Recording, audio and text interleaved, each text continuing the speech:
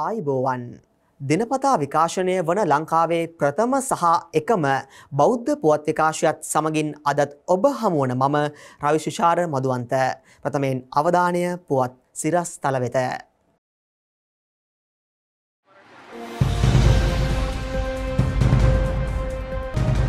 ජාතික වීරයන්ට අපහස වන අයිරින් මාතලේ රණවිරු ස්මාරකය සවිකර තිබූ විදුලි පහන් ඉවත් කෙරෙයි.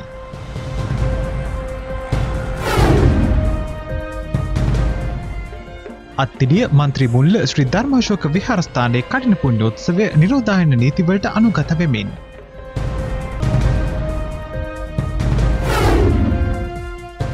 කොවිට් හේතුවෙන් අපහසුතාවයට පත් පිරිවින් සහ විහාරස්ථාන වෙත චීන බෞද්ධ මිත්‍රත්වයෙන් උපකාර කළ හැටි.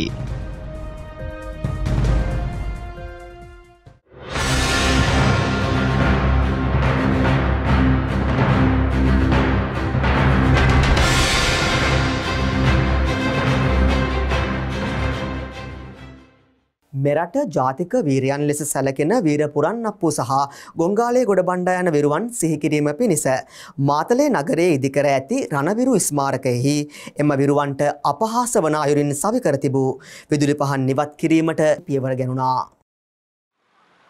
මාතලේ ශ්‍රී පුුණ්‍යවර්ධන සමිතිය සභහපති ඉසුරු ජයවර්ධන මහතා විසින් මාතලේ දිස්ත්‍රික් සංවර්ධන කමිටු සභහපති පාර්ලිමේන්තු මන්ත්‍රී නාලක කෝට්ටයකුඩ මහතාකින් සිදු කළ ඉල්ලීමකට අනුව මාතලේ වැඩබලන නගරාධීපති සන්දනම් ප්‍රකාශ් මහතාගේ මැදිහත්වීමෙන් මෙම විදුලි පහන් නිවත් කිරීමට පියවර ගත්තා. විශේෂයෙන්ම මාතලේ මහනගර සභාවේ වැඩබලන නගරාධිපතිතුමාට මාතලේ ශ්‍රී පුණ්‍යවර්ධන සමිතියේ සභාපතිවරයා විදියට මම අද දිනේ මගේ ගෞරවය ප්‍රදානය කරනවා.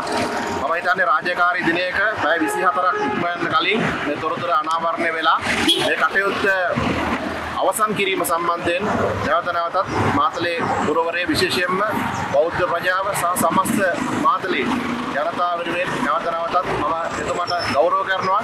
අපි අනාගතයේ අපේ රටේ දිනුවත් සමග අපේ සංස්කෘතිය රැකගෙන මේ ජාතික සටන නායකත්වය දුන්නු විරුවන් නායකයන් අනුස්මරණය කරන්න මෙවැනි දේවල් ඉදිවෙද්දී මේවට හානියක් නොකර ජාතියක් විදියට ගෞරව කරන්න කියන කාරණය මම මේ අවස්ථාවේදී ගෞරවයෙන් යුතුව මතක් කරනවා.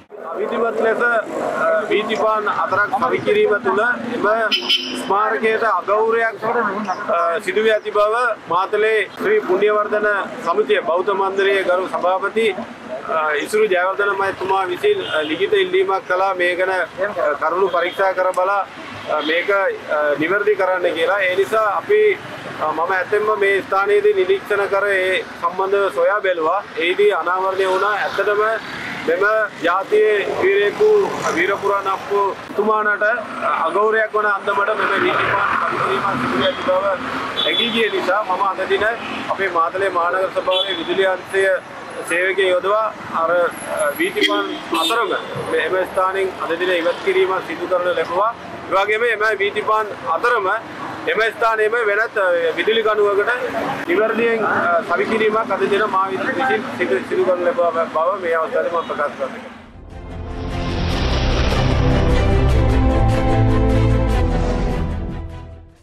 අත්තිඩිය මන්ත්‍රීමුල්ල ශ්‍රී ධර්මාශෝක පුරාණ මහා විහාරස්ථානයේ වාර්ෂික කටින පූජෝත්සවය ඉකුද්දා නිමාවට පත් වනා. සෞඛ්‍යංශ ලබාදී තිබූ නිරෝධායන නීතීන්ට අනුගත වෙමින් කඩන පූජෝත්සවය පැවැත්වුණේ සීමිත පිරිසක් සහභාගීත්වයෙන්. අත්තිටිය මන්ත්‍රී මුල්ල ශ්‍රී ධර්මාශෝක විහාරාධීපති ශාස්ත්‍රවේදී පූජ්‍යපාද සූරියගොඩ ධම්මික ස්වාමින්ද්‍රයන් වහන්සේගේ අනුශාසනයෙන් කටන පුුණ්‍යොත්සවේ සංවිධාන කළා. කටින පුුණ්‍යොත්සවේ ප්‍රධානදායකත්වය ගැන කටයුතු කළේ අත්තිඩිය ගැමුණු මාවතේ පදිංචි එච්චු රෝහණ මහතා GWෙන් ජානකී මහත්මිය ඇතුළු පවුලේ පිරිස විසින්.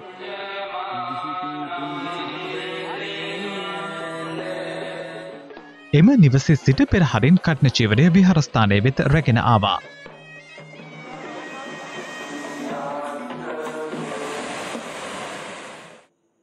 වස්සසා වැඩ සිටි විහාරවාසී සංගරත්නය වෙත කටන චීවරය පූජා කෙරුණේ ඉන් අනතුරුවයි.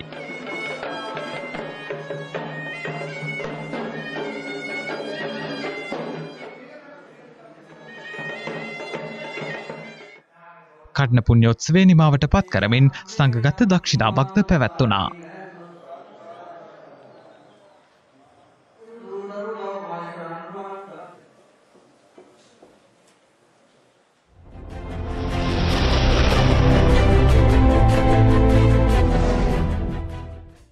ලෝක ඒඩ්ස් දිනය අදට දී තිබෙනවා. එය අනුව මෙවරෙහි තේමාව වන්නේ තරුන්නේ වගකීම ඉටු කරමු HIV වලකමු යන්නයි. ඒඩ්ස් රෝගෙන් මෙතෙක් මියගිය මිලියන 33ක පමණ ජීවිත අනුස්මරණය හා HIV සමග ජීවත් වන මිලියන 38ක ප්‍රජාව හා ඔවුන්ව රැකබලා ගන්නන් දිරිමත් කිරීම වෙනුවෙන් ලෝක ඒඩ්ස් දිනය සමරනු ලබනවා. අද ලෝක ඒඩ්ස් දිනයයි. මෙවර ලෝක ඒඩ්ස් දින තේමාව වනුවේ තාරුන්නේ වගකීම ඉටු කරමු HIV වලකමු. මෙවර ලෝක ඒඩ්ස් දින තේමාව අපි තරුණයන් සඳහා වෙන් කරනු ලැබුවා එකට විශේෂම හේතුවක් තියෙනවා. ඔබ සියලු දෙනාම දන්නවා ශ්‍රී ලංකාව HIV වසංගතය ගැන සලකනකොට අඩු අවධානමක් තියෙන රටක්. ඒ කියන්නේ අපේ රටේ මේ ආසාධිතයන් ඉතාම අවම ප්‍රමාණයක් සිටින්නේ. හැබැයි ඒක ගැන අපිට සන්තෝෂ වෙන්න බැහැ. මොකද පහුගිය වසර කිහිපය තුළ බැලුවහම අපිට හැම විටම වාර්තාවන රෝගීන් ප්‍රමාණය වැඩිවීමක් තියෙනවා සැම වසරකම පෙර වසරට වඩා. දැන් 2019 වසරේ රෝගීන් 439ක් අපි හඳුනාගත්ත විශේෂම කරුණ වෙන්නේ වැඩි හරියක් මෙම ආසාදිතයින් අතරින් පිරිමිවීම. එතකොට කාන්තාවන්ට වැඩිය සැම්විටම පිරිමින්ගේ ආසාදන ප්‍රමාණය වැඩි වෙන අතර මේ රෝගය ශ්‍රී ලංකාව තුළ බහුලවම පැතිරෙන්නේ ලිංගික සබඳතා තුලින්. ප්‍රධාන වශයෙන් අපි දකින්නේ පිරිමි පිරිමි සබඳතා තුලින් බෝවීමක්. ඉතින් අපි මේකෙදී ප්‍රධාන වශයෙන්ම වැදගත් වෙනවා මේ තරුණ ළමයි අතර මේ රෝගේ බෝවී පැතිරී යන එක ගැන. මොකද අපි දන්නවා මේ වගේ ලිංගිකව බෝවන රෝගයක් ලිංගිකව සක්‍රීය වයසේ සිටින පුද්ගලයින්ට තමයි වැළඳෙන්නේ. අපි ගත්තොත් පහුගිය වසර කිහිපය තුළ අවුරුදු 15ත් 24ත් වයසේ සිටින ළමයින්ගෙත් මේ ආසාදනයේ වැඩිවීමක් තියෙනවා. සාමාන්‍යයෙන් 10ක් 12ක් අතර ප්‍රමාණයක් හැම වසරෙම මේ වයස් කාණ්ඩය අතරයි 2019 දත්ත සැලකුවාම සෑම ආසාදිතයින් 8 දෙනෙක්ගෙන්ම එක්කෙනෙක් මේ අවුරුදු පහළවත් විසිහතරත් වයස් කාණ්ඩේ. ඉතින් අපි සැම දෙනාටම ලොකු වගකීමක් තියෙනවා මේ වසංගතය පැතිරීම වැළැක්වීමට. අපි ගත්තොත් ඇතරම් පාසල් අධ්‍යාපනයේ සිටන් මේ ළමයින්ට මේ ලබා දෙන ලිංගික සෞඛ්‍ය ගැන දැනුම ඉතාම වැදගත් වෙනවා. සමහර විට ඇත්තටම දැනුමටත් වැඩිය ඔවුන්ගේ කුසලතාවය වර්ධනය කිරීම ඔවුන්ගේ චර්යාමය වෙනසක් ඇති කිරීම මෙවැනි අවස්ථාවකට මුහුණ දුන්නහම මග හරින එක ගැන දැන ගැනීම. අන්න ඒ වගේ කරුණු ගැන වැඩිම වැඩි සැලකිල්ලක් දක්වන්න වෙනවා අනික් එක අද අපේ මේ තියෙන කොරෝනා වසංගතය සමග අපි ගොඩක් කලාව තරුණ පරපුර මේ නවීන තාක්ෂණය සමග ජීවත් වෙන්නේ. එතකොට ඔවුන් සමහරවිට මේ තාක්ෂණික මෙවලන් හරහා ගමන් කරන මාර්ගයේ අපි හැම විටම සැලකීමත් වෙන්න ඕන. වැඩිහිටියන් හැටියට දෙමව්පියන් හැටියට අපි අවධානයෙන් ඉන්න ඕන මේ ළමයි නිවැරදිව මේ මෙවලම් භාවිතා කරනවද මේ වැරදි තැන්වලද මේ ළමයි ඉන්නේ අනවශ්‍ය දේවල්ද බලන්නේ මොකද ඒ තුලිනුත් අපි දකිනවා ඇබ්බැහි වීම ඒ වගේම තමුන්ගේ සහකරුවන් සහකාරියන් සොයා ගැනීමත් මේ මෙවලන් හරහා සිදු වෙනවා. ඉතින් ඒක හන්දා වැදගත්ම වෙන්නේ ඔබ තරුණ ළමයෙක් නම් තමුන්ගේ ලිංගික සබඳතා නිසි වයස වෙනතෙක් ප්‍රමාද කිරීම ඒ වගේම තමුන් එක් විශ්වාසවන්ත සහකරුවෙක් හරි සහකාරියක් සමග පමණක් නිසි වයසේදී ලිංගික සබඳතා පැවැත්වීම ඉතා වැදගත් වෙනවා. ඊටාම වැදගත් වෙන්නේ මේ වෙනතෙක් ආසාදනය නොවූ පුද්ගලයා ආසාදනය නොවී සිටීම වගේම තමුන් යම් අවධානයකට ලක් වෙලා තියෙනවා නම් තමුන්ගේ ආසාදනය හඳුනා ගැනීම. ඒ සඳහා රුධිර පරීක්ෂාවකට යොමු විය යුතුයි. මන්ද මෙම රෝගයේ බොහෝ විට රෝග ලක්ෂණ පෙන්වන්නේ නැහැ. මූලික අවස්ථාවේදී රෝග ලක්ෂණ පෙන්වන්නේ නැහැ. තමුන්ට අවදානමක් තියෙනවා නම් තමුන් පරීක්ෂාවකට ලක්වන්න මෙම පරීක්ෂාව ශ්‍රී ලංකාවේ ජාතික ලිංගාශ්‍රිත රෝග සහ ඒඩ්ස් මර්ධන වැඩසටහන වගේම අනිකුත් ලිංගාශ්‍රිත රෝග සායන 41ක් තියෙනවා සෑම දිස්ත්‍රික්කයකම විසිරී. එතකොට ඒ හරහා ඔබට නොමිලේ මේ පරීක්ෂාවට යොමු වෙන්න පුළුවන්. ඊට අමතරව දැනට රාජ්‍යයේ රෝහල්වල බාහිර රෝගී අංශයේත් මේ පරීක්ෂාව තියෙනවා. සෑම විටම ඔබගේ රහස්‍යභාවය සුරකීමට අපි කටයුතු කරනවා. ඒ වගේම මේ හඳුනාගත්ත පුද්ගලයින්ට ප්‍රතිකාර ලබා ගැනීමත් ඉතාම වැදගත් වෙනවා. මොකද සමහර විට හඳුනා ගැනීමෙන් පසුවත් තමුන්ගේ බීතිය එහෙම නැත්නම් තමුන් තියෙන නිකන් මේ ගැන කොන්කිරීමක් ඇති වෙයිද කියලා සමහරු ප්‍රතිකාර සඳහා යොමු වෙන්නේ නැහැ. අපි මේ රෝගීන් සඳහා නිසි පරිසර වාතාවරණයක් සලසාදීමත් ඉතාම් වැදගත්වෙනවා මන්ද දැන් එච්චයිව කියන රෝගේ මාරාන්තික රෝගයක් නෙවේ ඒ සඳහා ප්‍රතිකාර තියෙනවා නිසි ප්‍රතිකාර ගැනීමෙන් ඔබටත් සාමාන්‍ය පුද්ගලයෙක් මෙන්ම ජීවත්වෙන්න හැකියාව තියෙනවා තුර නිසි ප්‍රතිකාර සඳහා යොමුවීම ඒ ප්‍රතිකාර නිසි පිළිවලට ජීවිත කාලය පුරාම ලබා ගැනීමත් ඉතාම වැදගත් වෙනවා. ඉතින් මේ කරුණු හරහා අපිට මේ වසංගතය පාලනය කරගන්න පුළුවන්. අපි සියලු දෙනාගේම සමාජ වගකීම මේ අයුරින් මේ රෝගය ගැන දැනුවත් වීම ඒ වගේම මේ රෝගය පාලනය කිරීමට සහාය වීම.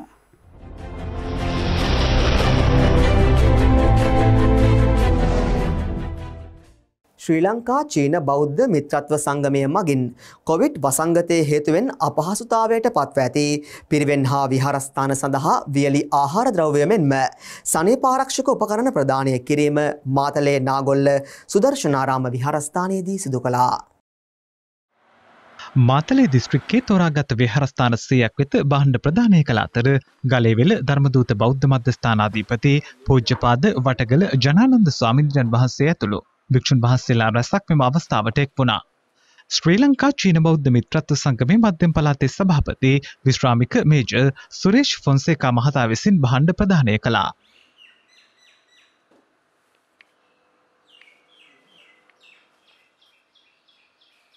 අද දවසේ මේ විහාරස්ථානයේදී ඒ චීන ශ්‍රී ලංකා බෞද්ධ මිත්‍රත්ව සංවිධානයේ මධ්‍යම පළාතේ සංවිධායක විශ්‍රාමික මේජර් සුරේෂ් පොන්සේකා මැතිතුමන් ඇතුළු මේ පිරිස ප්‍රදේශයේ තෝරාගත්තු විහාරස්ථාන සඳහා වියලි සහනාධාරය ලබා දෙන්නට යෙදුණා.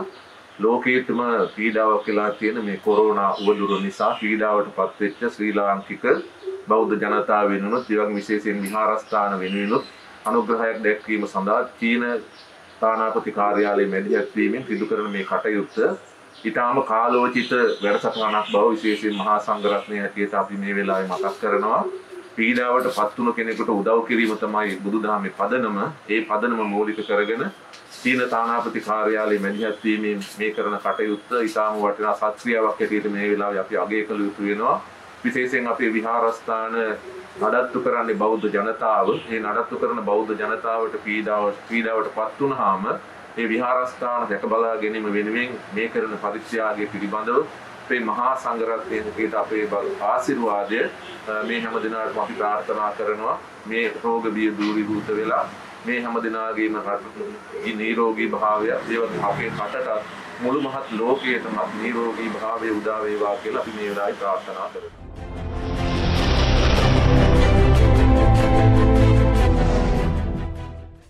මාතර බානගල ශ්‍රී සීලරතනාරාම විහාරස්ථානයේ කටන පූජා මහෝත්සවය පසුගියදා පැවැත්වුණා. සීලරතනාරාම විහාරාධීපති බානගල ශ්‍රී උපතිස්ස පිරිවෙන් කෘත්‍යාධිකාරී ශාස්ත්‍රවේදී පූජ්‍යපාද වලල්ලාවිට නන්දනායක ස්වාමින්ද්‍රයන් වහන්සේගේ අනුශාසනයෙන් කටන පුණ්‍යෝත්සවය පැවැත්වුණා. ජීවිතේ බලාපොරොත්තු වෙන ස්වයංසේවී ඒ උතුම් ගුණ සමුදාය ඉතාමත් මනාව දේශනා කරන මෙහිදී විහාරස්ථානය වෙත වැඩම කර වූ කටන ශීවරය සංඝරත්නය වෙත පූජා කොට සංඝගත දක්ෂිනාවක්ද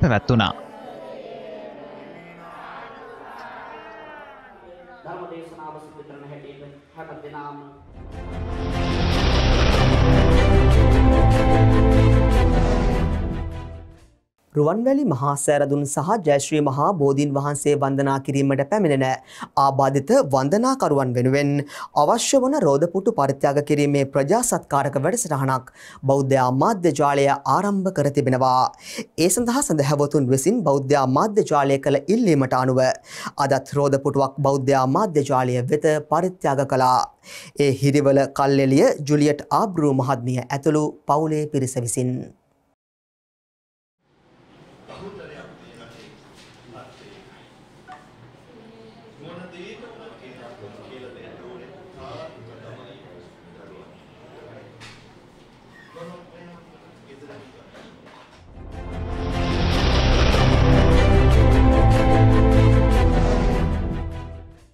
මෙරට තුළ තවමත් පොලිස් බල ප්‍රදේශ දහතුනක් හුදකලා කර ඇති අතර. ගෙවී ගිය පැය විසි හතර කාලය තුළදී මුහුණු ආවරණ නොමැතිව කටයුතු කිරීම හා දුරස්ථභාවය තබා නොගැනීම හේතුවෙන් තිස් දෙදෙනෙක් අත්තරංගුවට ගත් බව නියෝජ්‍ය පොලිස්පති පොලිස් මාධ්‍ය ප්‍රකාශක අජිත් රෝහණ මහතා පවසනවා. තවදුරටත් පොලිස් බල ප්‍රදේශ දහතුනක් පුදෙකලා කරලා තියෙනවා ඊට අමතරව වැල්ලම් පිටිය මට්ටක් කුලිය අටලුගම සහ අලවතුගොඩ ප්‍රදේශවල ග්‍රාම සේවා වසම් හුදෙකලා කර තිබෙනවා. එමෙන්ම පසුගිය පෑ විසිහතරක කාලය තුළ තිස් දෙදෙනෙක් අත්තඩංගුවට ගෙන තිබෙනවා. පසුගිය පැවිසි අතර කාලය තුළ මුහුණු ආවර නොපැල්දීම දුරස්ථභාවය තබා නොගැනීම සම්බන්ධයෙන් තිස් දෙදෙනෙක් අත්තඩංගුවට ගෙන තිබෙනවා. ඊට අමතරව ඔක්තෝබර් තිය සිට මේ දක්වා අත්තඩංගොටගත් මුළු සංඛ්‍යාව නමසිය තිස් සතරක් බවට වාර්තා වෙනවා. ඔබ සැමවිටම මුහුණු ආවරණයක් පලදින්න ඒවගේම දුරස්ථ භාවය තබාගන්න එසේ නොකළහොත් ඔබව අත්තඩංගොට ගැනීමට සිදුවෙනවා ඒවගේම හුදෙ කලා කරන ලද ප්‍රදේශවල හෝ ඕනෑම ප්‍රදේශයක සිටින ජනතාවගේ නිල්ලා සිටීමට කැමති මුළු රටම ආසාධිත ප්‍රදේශයක් බවට පත් කරලා තියෙන්නේ. ඒ අනුව සෞඛ්‍ය රීතිවලට අනුගතව කටයුතු කරන්න සැමවිටම නිරෝධායන රීතිවලට ගණු කරන්න PCR පරීක්ෂණයකට පෙනහිටින්න කිවොත් එය ප්‍රතික්ෂේප නොකර වහම පෙනි සිටින එසේ පෙනීන්න සිටියහොත් ඔබට නිරෝධායන රීතින් යටතේ කටයුතු කරන්න වෙනවා නඩු පවරන්න වෙනවා ඔබ වර්ධ කරුණොත් අවුරුදු තුනක සිර දඬුවමකට යටත් වීමට සිදු වෙනවා මේ ගැන නිරන්තරයෙන් සිතා බලන්න. ඒ වගේම මේ වන විට යම් ආකාරයකට මාරක රියානතුරුවල ඉහළ බවක් දක්නට ලැබෙනවා. සාමාන්‍යයෙන් කෝවිඩ් වසංගතයට පෙර ලංකාවේ දිනකට පුද්ගලින් දහයක් මාරක රියානතුරුවලින් මිය ගියා. නමුත් කෝවිඩ් වසංගතයත් සමග එම සංඛ්‍යාව බින්දුව දක්වා අඩු වුණා පුද්ගලින් මිය ගියේ නැහැ. ඒ වගේම ඉන්පසු නැවත දැන් මේ තත්ත්වය ඔක්තෝබර් මාසයේ සිට ඊටාම අඩු තත්ත්වයක තිබී නැවතත් වර්ධනය වෙලා තියෙනවා. මාස දෙකකට පස්සේ මහාමාර්ගයේ වැඩිම පිරිසක් මියගිය දිනය තමයි ඊයේ දිනේ අද උදෑසන 6න් අවසන් වෙච්ච පැය 24 කාලය තුල මේ කාලය තුල පුද්ගලයන් 7 දෙනෙක් මිය ගිහිල්ලා තියෙනවා රියානතුරු වලින් ඒ අනුව මාරක රියානතුරු වල වැඩිවීමක් ශීඝ්‍ර වැඩිවීමක් මේ දින දෙක තුල තුල දක්නට ලැබෙනවා. ඉතින් අපි විශේෂයෙන්ම ඉල්ලා සිටිනවා රියදුරන්ගෙන් ඔබ වාහනයක් පදවනවා නම් කිසිම අවස්ථාවක ඔබ රියානතුරක වින්දිතයෙක් බවට පත්වෙන්නට එපා. ඒවගේම ඔබ පාරි ගමන් කරනවා නම් මගියෙක් නම් ඔබ වාහනයක් පදවනවා නම් කිසිම අවස්ථාවක රියානතුරක සැකකරුවෙක් බවට පත්වෙන්න එපා. ඔබ මගියෙක් නම් ඔබ පදිකයෙක් නම් ඔබ රියානතුරක වින්දිතයෙක් බවට පත්වෙන්න එපා. අධික වේගෙන් රිය පදවන්න එපා අපරීක්ෂාකාරීව නොසැලකිලිමත්ව රිය පදවන්නට එපා. ඒවගේම නිරන්තරයෙන් බීමත්ව රිය පැදවීමෙන් වලකින්න මේ කාරණා පිළිබඳ අවධානය යොමු කරන්න මාර්ග අනතුරුවල සීග්‍ර වර්ධනයක් දක්නට ලැබෙනවා. ඒ නිසා පාරේ ගමන් කරනකොට පාර මාරු වෙනකොට වාහන පදවන විට සංඥා ලාම්පු අසල නිරන්තරයෙන් මාර්ග නීතිවලට අනුගත වෙලා කටයුතු කරන්න මාර්ග සලකුණු වලට අනුගත වෙමින් කටයුතු කරන්න අධික වේගයෙන් රිය පදවන්නට එපා.